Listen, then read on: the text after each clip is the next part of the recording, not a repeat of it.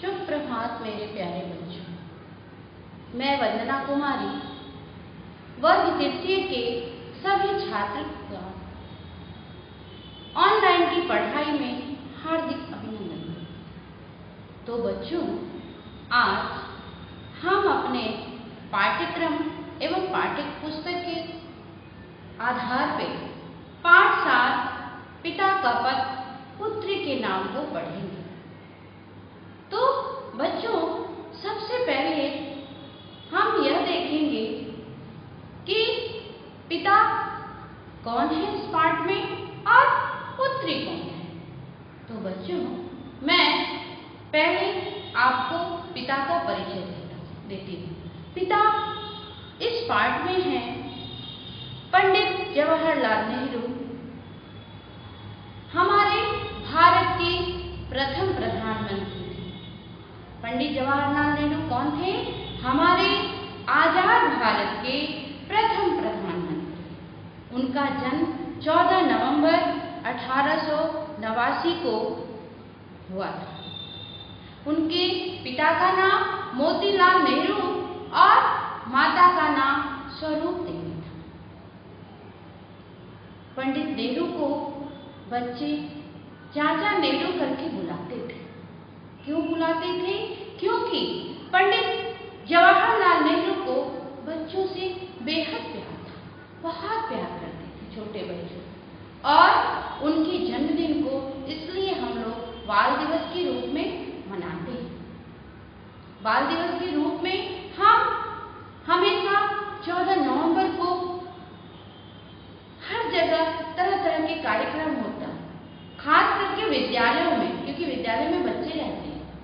बच्चे पढ़ते हैं और चाचा नेहरू को बच्चों से बहुत प्रेम तो हम नेहरू जी के विषय में जान गए और उनकी पुत्री श्रीमती इंदिरा गांधी जो हमारे आज़ाद भारत की प्रथम महिला प्रधानमंत्री थी जिन्होंने आज़ादी दिलाने में, बहुत छोटे से उम्र में, भारत को आज़ाद करने में बहुत बड़ा योगदान उन्होंने बानर सेना का भी एक संगठन बनाया। और यह पत्र इंदिरा जी के तेरहवीं जन्मदिन पे, इंदिरा जी उस वक्त तेरह वर्ष की थी और चाचा नेहरू, पंडित जवाहरलाल नेहरू ने उन्हें जेल में रह के स्वतंत्रता संग्राम में। उन्हें जेल जाना पड़ा था। जेल में रहकर उन्हें अपनी पुत्री का जन्मदिन याद था। और वह नैनी जेल से अपनी पुत्री को तेरहवीं जन्मदिन पे पत्र लिखे और कहे, बेटा, मैं जेल में रहकर क्या उपहार दे सकता हूँ?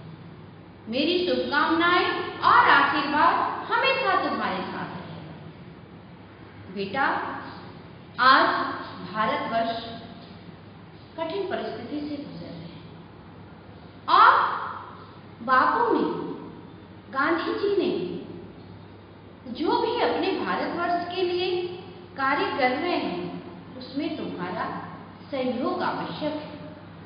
तुम उसे सहयोग करो, साहसी बनो और निडर बनो तो बेटा हमेशा तुम कोई ऐसा कार्य नहीं करना जिसे तुम्हें लज्जित होना तुम लीडर बनो तुम साहसी बनो तो बच्चों मैं इस पाठ में पाठ को पहले पढ़कर समझाऊँगी अपने पाठ को आप पहले समझें।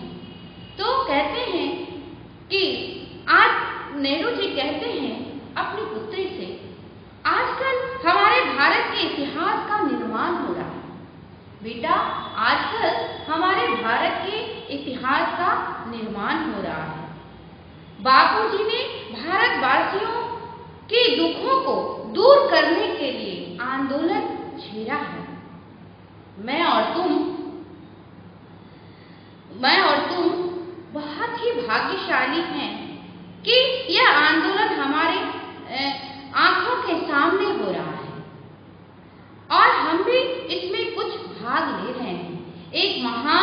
उद्देश्य हमारे सामने है।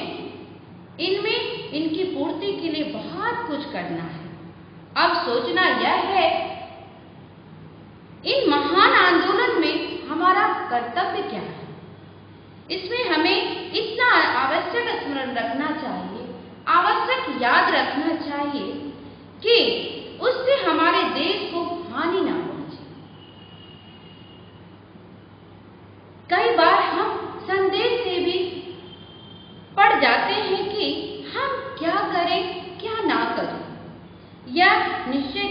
कोई कोई सरल कार्य नहीं है।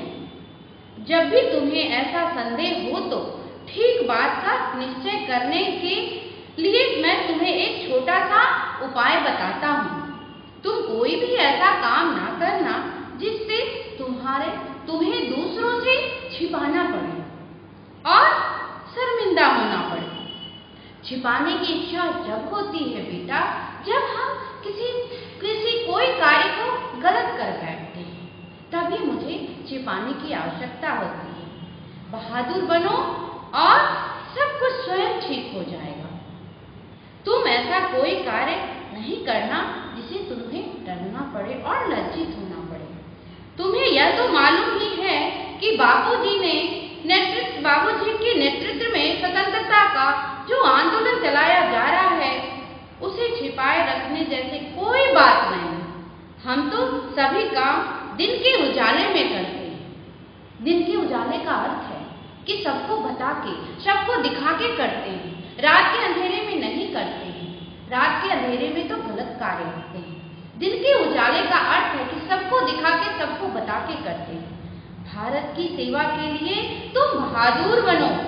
यह मेरी शुभकामनाएँ बेटा, तुम अपने भारत की सेवा के लिए बहादुर बनो तो बच्चों हर माता पिता को अपने बच्चों की क्षमता बच्चों की क्षमता से वो अवगत रहते हैं। हमारा बच्चा क्या कर सकता है, कैसे कर सकता है, और उनकी क्षमता के अनुसार हमेशा माता पिता सही रास्ते पे चलने के लिए प्रेरित करते